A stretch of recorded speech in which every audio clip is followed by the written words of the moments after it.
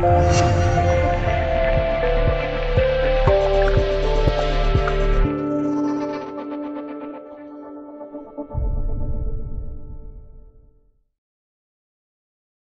李元庚图片来源于网络六一儿童节到了，相信很多小朋友身边都会有爸爸妈妈的陪伴，一起度过快乐的时光。但是有这么一群孩子，却没能像其他小朋友一样与爸爸在节日里开心玩耍，因为他们有个统一的名字——军娃。零一军人的孩子，在呱呱落地的那一刻开始，就命中注定要与爸爸或妈妈分离，聚少离多，因为。爸爸不是在边防巡逻，就是在前方哨卡执勤；妈妈不是在部队一线巡诊，就是在通信值班。他们肩上担起的不仅是国家安全稳定的神圣使命，还担负着人民安居乐业、社会和谐发展的历史重任。零二军人的孩子想爸爸妈妈的时候，常常坐在电话机旁，静静等待，或掰着手指头数着爸爸妈妈永不确定的归期，要么。看着爸爸妈妈的照片，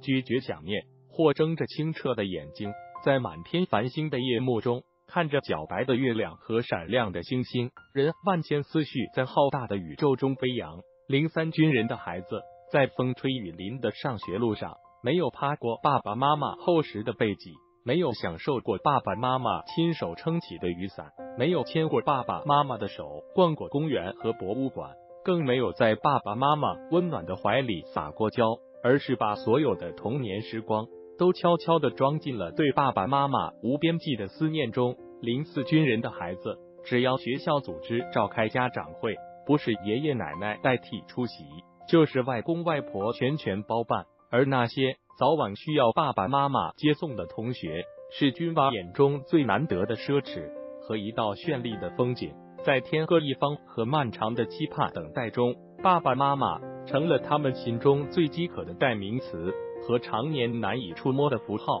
零五军人的孩子想父母双亲的时候，就依偎在爷爷奶奶的膝盖上，听他们讲爸爸在伸手可以摘到星星的高原巡逻执勤的情景，在逐浪滔天的抗洪前线奋力抢险的英雄壮举，听他们讲妈妈在病房救死扶伤的动人事迹。在繁忙的值班室书写青春的壮志豪情，零六军人的孩子在人生的道路上要比别的孩子承受更多难以想象的苦难，付出更多难以知晓的艰辛。军人的孩子想爸爸妈妈的时候，就在睡梦中插上飞翔的翅膀，去寻找爱抚与亲情。可就在他们幸福溢满笑脸、银铃般的笑声荡出心间的时候，思念的泪水。早已顺着他们稚嫩的脸颊，静静的滑落到了枕边。军人的孩子，或许现在你们无法理解，爸爸妈妈终有一天，你们会明白，你们的爸爸妈妈其实和其他父母一样，